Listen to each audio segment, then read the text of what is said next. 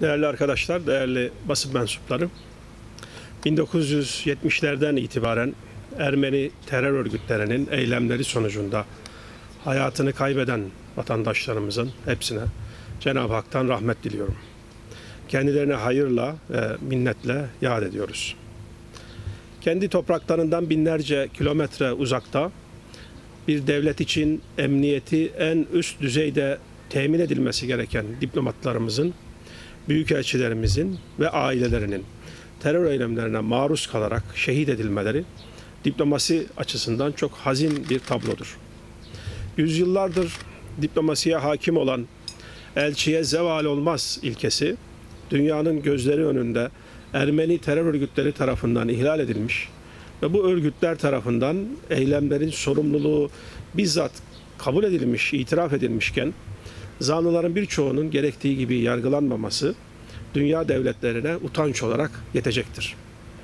1973'te başlayan tarihte eşi benzeri görülmemiş alçakça terör eylemleri Türk diplomatlara karşı yıllarca süren bir terör dalgasına dönüşmüştür.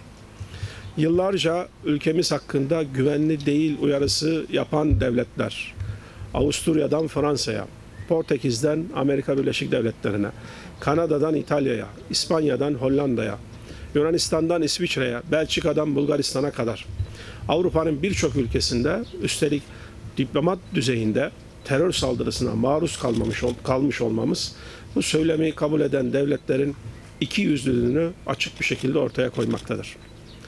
31 diplomatımızın ve bazılarının aile fertlerinin hatta kendi vatandaşlarının da vefatına neden olan bu korkunç terör saldırıları bütün dünya ülkelerinin hep birlikte gür bir sesle kınaması gereken hazin olaylar idi.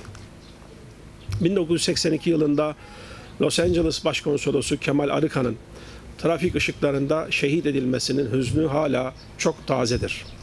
Katil zanlısı Sasunya'nın daha birkaç ay önce 21 Şubat 2021'de tahliye edilmesi ve adı geçen zanlının tehdit oluşturduğuna ilişkin yeterli delil görülmemesi mahkeme kararında zikredilen ifadelerin aslında siyasi bir mesaj içerdiği çok açıktır. 1973 tarihinde 78 yaşındaki Amerikan uyruklu Ermeni Gürgen Yanıkyan'ın elinde Osmanlı Sarayı'ndan kaçırılmış tablo ve banknotların varlığı ve bunları Türkiye'ye armağan etme isteğiyle talebi üzerine buluştuğu Los Angeles Başkonsolosu Mehmet Baydar ve Konsolos Bahadır Demir'i şehit ettikten 10 yıl sonra af ile serbest bırakılması yaşanan terör olaylarına ülkelerin bakış açısını göstermektedir. Çağımızda her ne kadar unutulsa da kadim ilke olan savaşta dahi kadın ve çocuklara dokunulmaması ilkesi hiçe sayılarak Atina'nın ortasında Büyükelçilik İdari Ateşemiz Galip Özmen'in 14 yaşındaki kızı Neslihan Özmen ile birlikte şehit edilmesi ilk günkü gibi hatırımızdadır. Büyükelçilik düzeyinde işlenen cinayetlerin pek çoğunda katil zanlılarının bulunamaması, üstelik eylemi gerçekleştiren örgüt kendini açık ederken zanlının bulunamamış olması ironik bir durum ortaya çıkarmaktadır. Bulunsa ve hatta zanlılar hüküm giymiş olsa dahi süreçler takip edildiğinde birçoğunun aradan geçen yıllar sonra serbest bırakıldığı ve cezalarını tam olarak çekmedikleri görülmektedir.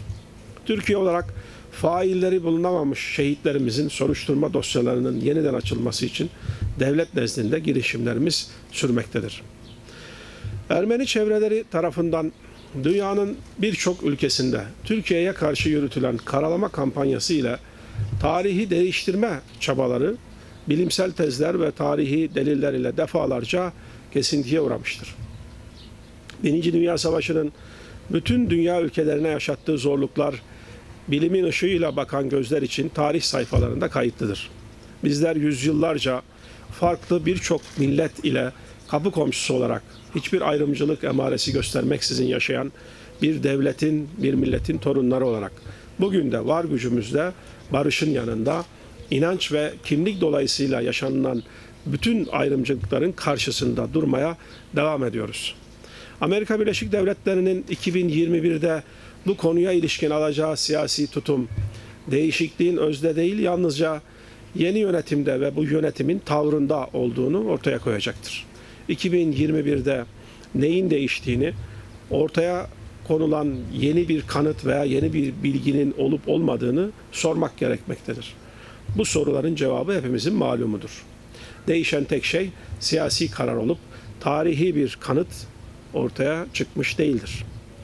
Soykırım kapsamı son derece belirli, kullanımı çok somut şartlara bağlanmış uluslararası hukuk kavramıdır.